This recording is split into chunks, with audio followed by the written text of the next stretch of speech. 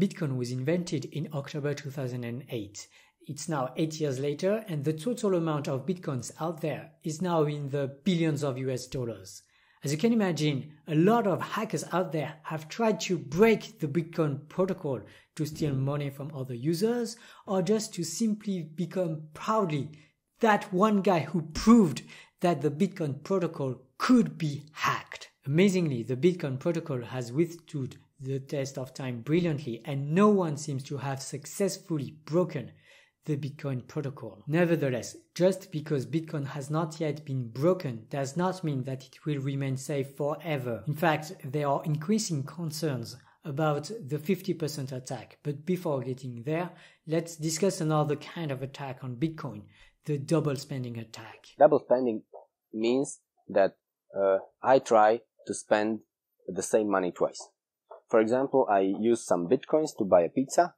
I eat that pizza and then I try to undo the transactions by which I paid for the pizza and spend the same money for something else again. This was Matej Pavlovic, a PhD candidate of the IC school at EPFL. This can be done, or I can try to do this, uh, by first uh, issuing a transaction to buy the pizza and voting for it and make everybody believe that this is uh, a correct transaction. And then issue another transaction that would spend the same money that I already spent for the pizza and try voting for this new transaction instead of the previous transaction. And if I manage to gather enough votes uh, for for this new transaction, then the old transaction becomes invalid, and the new transaction uh, uh, that that spends my money again becomes valid, and I spent my money twice. To understand the heart of the double spending problem, we need to recall some of the basic workings of the blockchain. I know we discussed it in a previous video, but a TLDR cannot hurt. The Bitcoin is mainly a huge text file that contains all the Bitcoin transactions that ever occurred. Now, this huge text file is called the Bitcoin ledger and it's made of blocks. A set of transactions that is appended at once is called a block. Mm, I can only append the block to some other block in the in the ledger. The trouble is that any miner can add a block to the blockchain and this means that you're going to have forks in the blockchain, different versions of the blockchain. How do we know which one is the right one? The longest chain of blocks is defined to be the valid one. So transactions that are contained in, in the longest chains of blocks, in, in the longest chain of block, are considered valid. Now, to add a block to the blockchain, a miner needs to provide a proof of work. But crucially, this proof of work depends on where the miner wants his block to be added. So if I want to append new transactions, I need to choose where to append them. I need to choose to which block to append my new block for which I computed the proof of work. And all this information is included in my proof of work, which means I can compute, compute, compute, compute, and find a solution to a proof of work.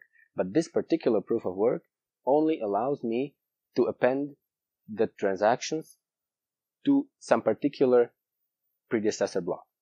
I cannot put it elsewhere.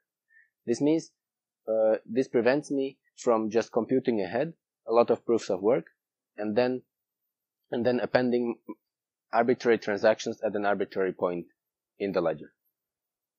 One proof of work only allows me to do this at the predefined point that I define before computing the proof of work. This is very important to understand because it means that mining can be thought of as a voting process. More precisely, a miner that is searching for a proof of work that's compatible with a certain last block is basically voting for the blockchain that goes all the way from the first block ever added in the history of the blockchain all the way up to the last block that he's searching a proof of work for. Now let's get back to the double spending attack. So you ordered some pizza and you're giving a Bitcoin transaction to the pizzaiolo that gave you the pizza.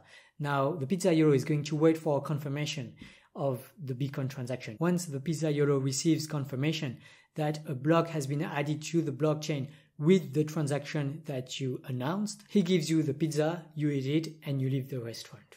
Now, if you were malicious, what you could do is once you're at home, you could try to invalidate the Bitcoin transaction that you've made to the Pizzaiolo. And one way to do so is to ask your miner friends to vote against the last block that was added to the blockchain and that contains the Bitcoin transaction to the Pizzaiolo. And this could be done by voting for the block that came just before this last added block. If you could somehow create your own fork and grow it faster than the main blockchain, then the new fork would become the longer blockchain and it would thus become the official Bitcoin ledger. In particular, the money that you did spend on the pizza to the Pizzaiolo would still be yours and you would be able to spend it for other purposes. You would have successfully double spent your Bitcoins. Now, fortunately, this is prevented exactly through the proof of work. If I could vote without doing any work, any work, then uh, it might be easy to to do this. But if I have to work first and then I can vote, then in order to vote for another transaction instead of instead of my previous one, I would have to compute a lot of hashes. I would have to do a lot of work uh, in order to gather more votes for the new transaction. And the Bitcoin system is designed such that this is extremely hard to do, especially if other people already voted for the first transaction. I would, or other miners voted for the first transaction. Then I would have to gather more votes than the other miners, which in Bitcoin would correspond to more proofs of work. And this is very hard to compute. And this is why in general, the double spending in Bitcoin is very, very hard to do. Now, all of this only holds if at any point in time there are lots of miners that are working on the longer blockchain so that you and your miner buddies cannot extend your fork faster than they extend theirs. What we assume in the Bitcoin system that not too many of them are cheating. For example, not too many of them are trying to double spend their money what is more, uh, not even that, uh, the, not even that too many of them are not cheating, but not too many of them are actively cooperating on this cheating. If small portions of them each tries to cheat individually, it's still fine. But we assume that not too many of them are cooperatively trying to cheat the system. So as long as there's not a majority of miners that cooperatively collude, it seems that the Bitcoin will remain safe. But is that a fair assumption? Well, mining pools can group a huge number of uh, computing power, and nowadays the biggest mining pool has a very considerable fraction of all the computing power that is present in the Bitcoin system. Wait, what's a mining pool? A mining pool is a group of miners that cooperate in computing a single proof of work. That means first they agree on what transactions all of them would like to append to the ledger. And then all of them try uh, to find a nonce that would make it possible to append these transactions. Then, if they succeed in appending the transactions to the ledger, they will share the reward that is connected with this block among themselves. So mining pools literally pool miners, and this allows to redistribute more fairly the rewards given to miners, which would otherwise correspond to huge amounts of bitcoins for a single miner. Now, the trouble is that mining pools are getting huge. If this huge mining pool, maybe together with two others, uh, start cooperating on cheating, then only these three leaders of these three mining pools could theoretically control the whole system. In particular, they would have more than 50% of the computational power, and this would open the door to the 50% attack. So the 50% attack has to do exactly with the trust uh, of the system. When somebody controls more than half of the computing power that is involved in Bitcoin, then it gets more than half of the votes uh, for what transactions should be in the system and what transactions should not be in the system. And in particular, double spending attacks would be easy peasy for miners with over 50% of the computational power. Trust could be broken and the Bitcoin could plummet and disappear. Now, a priori, miners have a lot of Bitcoin, so it's not in their incentives to collude and make the Bitcoin disappear. This should reassure Bitcoin users among you. Nevertheless, it's a bit frightening that mining pools have got so big. Is the redistribution of rewards sufficient to explain the reason why miners have grouped together into huge mining pools? Perhaps not. Maybe there's another reason why miners have grouped themselves in such huge mining pools. Bitcoin is designed such that uh, my reward should be proportional to the computation power I have. The more proof of work I create, the more bitcoins I get.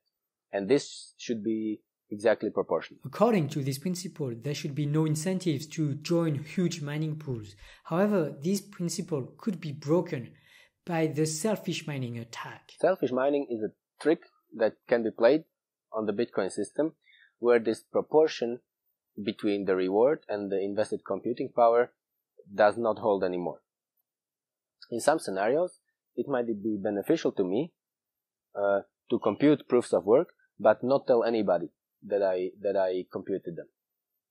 Like this, I can try to hide what I computed and uh, try to append to this more proofs of work. Large mining pools can then implement more easily selfish mining attacks. Thereby, miners within the pools are going to gain more bitcoins per unit of computational power than miners outside of the huge mining pools. This is why the Bitcoin protocol as it is today gives incentives to miners to group themselves into huge mining pools. And this is worrisome because it opens the door for 50% attacks, which open the door for double spending. So overall, I would say that the Bitcoin seems reasonably secure, but I would not bet my entire fortune, however small it is, on this. Fortunately, research on variants of the Bitcoin is hugely active, and there will hopefully be some new ideas to improve the security as well as the efficiency of the Bitcoin protocol. Stay tuned for that. We will have two branches of the blockchain, and a race will begin. The first one to achieve the next block of confirmations will win. Some people criticize um, the loss of, energy, which is uh, which is used by all the computers doing the mining to maintain the, the Bitcoin network.